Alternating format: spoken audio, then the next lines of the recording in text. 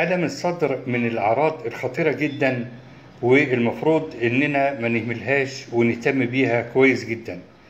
لو أي واحد جاله ألم في منطقة الصدر وكان مصاحب لبعض الأعراض زي ألم المعدة وعرق وهبوط ووهن شديد وكان الألم آه، مسمع للكتف الشمال أو الذراع الشمال حتى لو ما كانش مسمع للذراع ولا الكتف الشمال لازم المريض يتوجه إلى أقرب مستشفى لعمل رسم القلب وانزيمات القلب.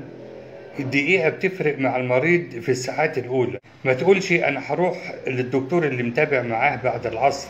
لا لازم تتوجه فورا لأقرب مستشفى للاطمئنان على قلبك ونشوف الألم الصدر ده جاي منين. علشان تاخد علاج قبل ما يحصل أي مضاعفات. شكرا لكم وإلى اللقاء.